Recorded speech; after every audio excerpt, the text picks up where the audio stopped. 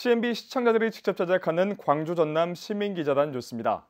광주 광산구 자원봉사센터에서 안전한 마을 선포식이 진행됐습니다. 전국 자원봉사센터가 동시에 진행하는 안전 캠페인이라고 합니다. 김미경 시민기자입니다.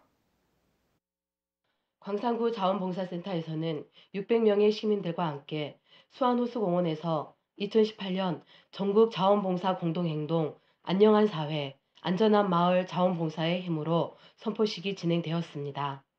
광산구에서 진행될 공동행동은 두 가지 테마로 단체, 기업, 학교, 청소년 동아리 등 이웃과 안녕하세요 한마디를 나눌 수 있는 사회, 마을 탐방, 마음이 편한 광산 램핑데이, 밤길 지킴이 태양 가로 등 설치로 좀 더 안전한 마을 만들기로 진행이 될 예정입니다. 또한 이날 행사에서는 캠페인에 동참할 단체들과 협약식 및 전달식을 진행하였으며 안녕한 사회, 안전한 마을을 만들겠다는 시민들과의 약속을 외치며 모두가 하나가 되어 대규모 플래시몹을 펼치기도 하였습니다.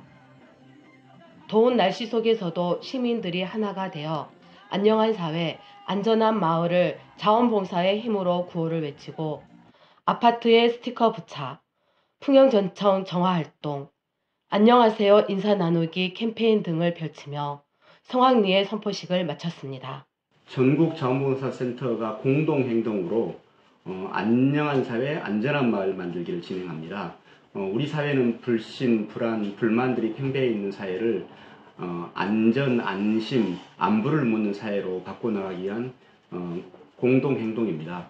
어, 안전, 안녕한 사회는 어, 인사 나누기 캠페인, 그리고 이웃과의 관계를 새롭게 만드는 일들이 진행되고 안전한 마을은 어, 밤길 안전을 위한 태양광 가로등 설치하기 그리고 어, 그 마을 탐방을 통한 어, 마을 매핑데이 등을 진행하게 됩니다. CNB 시민기자 김희경입니다.